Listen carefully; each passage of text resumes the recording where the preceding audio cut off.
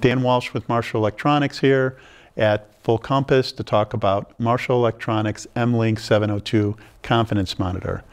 The M-Lynx 702 is a dual 7-inch monitor with front panel controls and a variety of AV inputs.